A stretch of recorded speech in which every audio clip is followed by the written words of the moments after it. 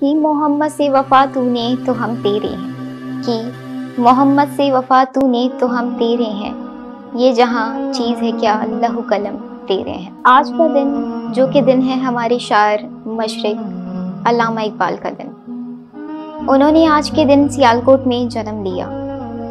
अल्लाह पाक जब किसी कौम को तोहफी से नवाजते हैं तो उस कौम को इकबाल जैसे मर्द, मुजाहिद अता करते हैं। इकबाल, जिन्होंने अपनी शायरी से सोई हुई कौम को बेदार किया और एक आज़ाद ममलिकत हासिल करने तक की जद्दोजहद ने मुसलमानों का लहू अपनी शायरी से गरमाया। लेकिन जिस मकसद के लिए हमारे इसलाफ ने यह आज़ाद ममलिकत हासिल की थी, हम शायद भूल बैठे हैं।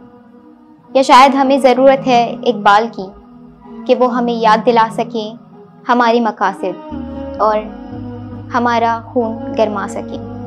बाहसीत हमें एक मुतहद कौम होकर इस मुल्क के लिए वो करना चाहिए जिसके ख्वाब उन्होंने देखे थे, या जो मकसद हमारी कौम का था। अमल से ज़िंदगी बनती है जन्नत भी जहन्नुम भी।